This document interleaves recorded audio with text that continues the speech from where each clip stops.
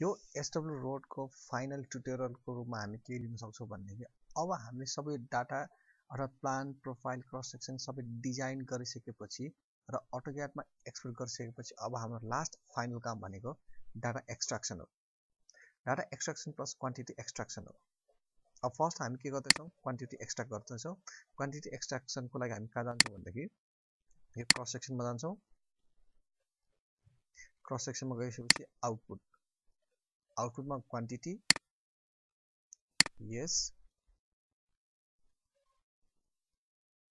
अब starting changes zero छ अहिले इन्डिङ चेन्जेस अब अहिले टेन्टेटिभ हामीलाई दुई सय मिटर जति छ भने दुई सय मिटर हालिदिउँ यहाँ चेक गर्नुहोस्। चेक गरिसकेपछि उसले अटोमेटिक के दिन्छ भने स्टार्टिङ चेन्जेस यति छ र इन्डिङ चेन्जेस भनेको एक सय पैँतिस पोइन्ट वान फोर मिटरको रोड सेक्सन छ। अहिले यो भनेको एब्स्ट्राक्ट मात्र भयो र डिटेल यो सबै डिटेल हामी यो एक्सपोर्ट अल गर्छौँ। एक्सपोर्ट अल अब लोकेसन अब हामी कहाँ दिन्छौँ सपोज़ अब एजपुट कहाँ जान्छ? सपोज़ क्वान्टिटी भयो। Q U N T quantity भयो। सेभ गरौँ।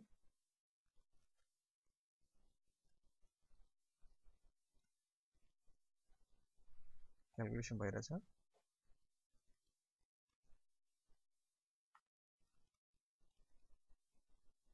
Data export process is complete अब डाटा एक्सपोर्ट हेर्नुहोस् डेस्कटपमा जाउँ यो डिज़ाइन एसडब्लु यो भयो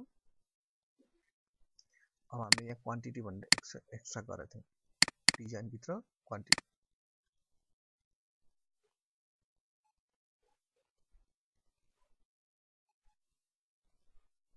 यस अब यसमा के भनेको abstract quantity page.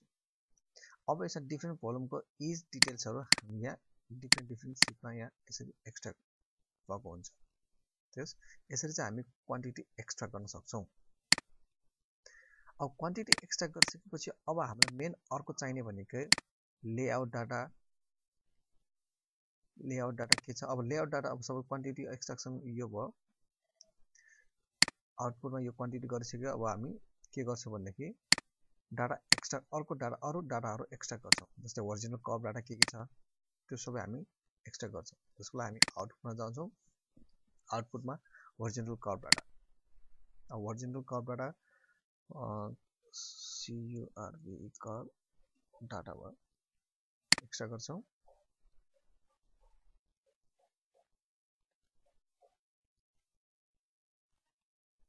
Curve data पनि एक्स्ट्रा भयो।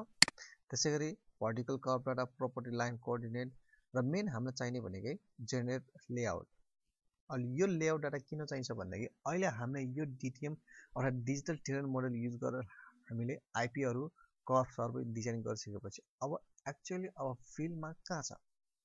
कन्स्ट्रक्सन गर्नको लागि अब यो रोड सेन्ट्रल लाइन चाहिँ हामीले लेआउट गर्नुपर्ने हुन्छ। त्यो रोडको सेन्ट्रल लेआउट गर्नको लागि हामी जेनेरेट लेआउट डाटा चाहिने हुन्छ। त्यही भएर हामी लेआउट डाटा पनि जेनेरेट गर्छौँ। जेनेरेट अब हामीले जेनेरेट गर्दाखेरि कुन कुन डाटा चाहिन्छ? जस्तै कर्डको इसिएमसी बी चाहियो क्रस सेक्सन भनेपछि अब हामी जेनरली के दिन्छौँ? फिक्स इन्टरभल ट्वेन्टी प्लस कर्बको इसिएमसी बिसी चाहिँ हामी सबै एक्स्ट्रा गर्छौँ। ओके गर्नुहोस्?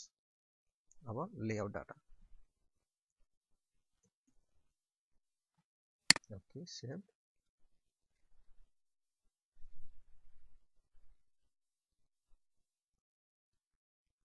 layout data पनि कम्प्युट भयो एक्सपोर्ट भयो। त्यसै गरी क्वान्टिटी क्रस सेक्सन पोइन्टहरू सबै हामी निकाल्न सक्छौँ। अब लेआउट डाटा हेर्नु सक्छ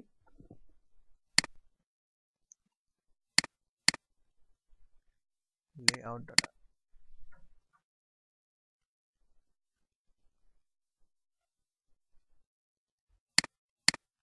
अब यो लेआउट डाटामा के हुन्छ भनेदेखि जसरी अब उयो हरेक आइपीको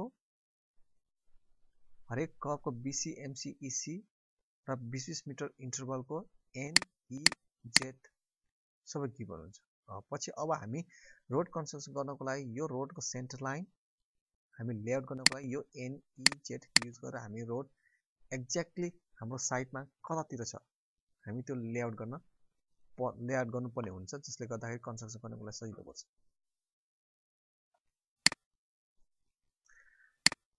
अब यो लेआउट डाटा सकिसकेपछि सपोज अब मलाई के गर्नु पऱ्यो भने यो एक्जिस्टिङ डाटाको ओरिजिनल करको डाटा पनि चाहियो सपोज। एक्स यहाँ हामी डाटामा जान्छौँ यो अलाइनमेन्ट यो अलाइनमेन्ट भनेको अहिले हामीसँग कतिवटा छ? आइपीहरू पाँच छवटा छ। छवटा घर एक्स वाइ दिएको छ र रेस्पेक्ट चाहियो। सबै यो पनि चाहियो भने यहाँ हामी के गर्छौँ? यो एक्सपोर्ट गर्छौँ। यो कर्भ डाटा भयो। कर्भ डाटा एक्सट्राक्ट भयो। Alignment data sorry alignment data alignment data भयो यो पनि सेभ गरौँ यो एक्जिट त्यसै गरी यो हामीले डिजाइन गरेको एक्जिस्टिङ प्रोफाइल पनि चाहियो यो सबै एक्जिस्टिङ प्रोफाइल भयो जुन अहिले हामीले यो प्लानमा जान्छौँ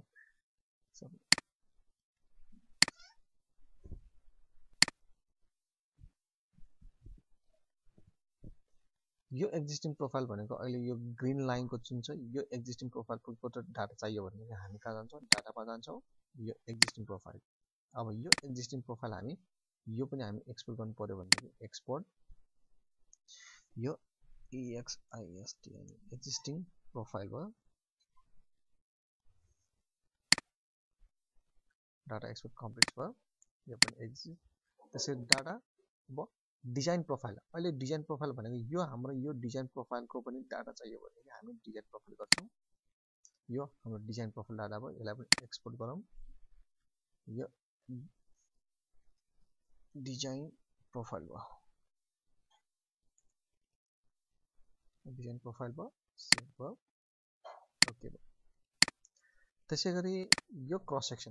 अब यो क्रस सेक्सनको पनि डाटा चाहियो। यो क्रस सेक्सन डाटा कसरी आउँछ भने यो सेन्टरको लेफ्टमा आरएल कति छ? राइटको पार्सल डिस्टेन्समा आरएल डिफ्रेन्ट आरएल कति छ? जुन हामी स्टेपिङ मेथडमा गर्छौँ त्यही स्टेपिङ मेथडको डाटा हामीले बनाइसकेका हुन्छ। त्यो पनि सपोज हामीलाई चाहियो भने क्रस सेक्सन डाटा दिन्छौँ। यसरी। जेरो चेनेजको माइनस लेफ्टतिर बाह्र मिटरको डिस्टेन्स पार्सल डिस्टेन्समा आरएल यति छ र राइटमा पार्सल डिस्टेन्स पन्ध्र मिटरको डिस्टेन्समा चाहिँ आरएल यति छ। यसरी डिफ्रेन्ट डिफ्रेन्ट चेनेजमा यसरी क्रस सेक्सन उसले बनाइसकेपछि अब यो डाटा पनि हामीलाई चाहियो भनेदेखि हामी के गर्छौँ? यो डाटा पनि एक्सपोर्ट गर्छौँ। इन्टु अल क्रस सेक्सन अब यो cross section data CROSSCTR cross section data भयो के गर्छौँ? डाटा एक्सपोर्ट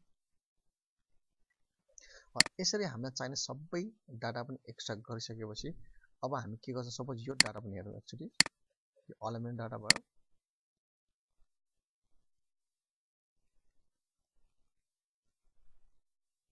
यो अलाइनमेन्ट डाटामा के हुन्छ भने हाम्रो आइपीहरू कतिवटा छ र हरेक आइपीमा रेडियस कति हामीले एजिङ गरेका छौँ र त्यो हरेक आइपी एक्सट्रा पनि गिभन यो अलाइनमेन्ट डाटा भयो। त्यसै गरी cross section data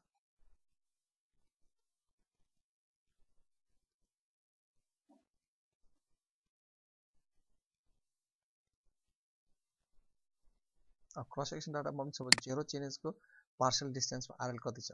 twenty metre चेनेजको इन्टरभलमा कति छ? यो सबै हामी ट्वेन्टी ट्वेन्टी मिटरबाट इन्टरभल भन्नाले ट्वेन्टी ट्वेन्टी मिटर्सको इन्टरभलमा यो क्रस सेक्सन डाटा पनि दियो। जुन हामी स्टेपिङ मेथडबाट गरेको क्रस सेक्सनको डाटा फर्मेटमा एक्सपोर्ट गरिदिन्छ। त्यसै गरी कर्भ डाटा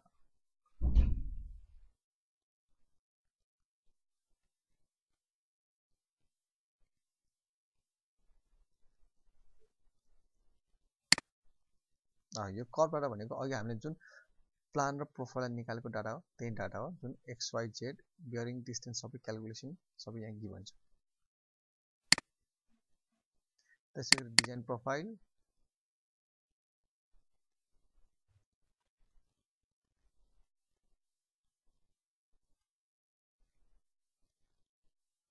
डिजाइन प्रोफाइल भने हाम्रो यति डिजाइन प्रोफाइल हाम्रो यो गिभन भनेको डिजाइन प्रोफाइल भनेको के छ?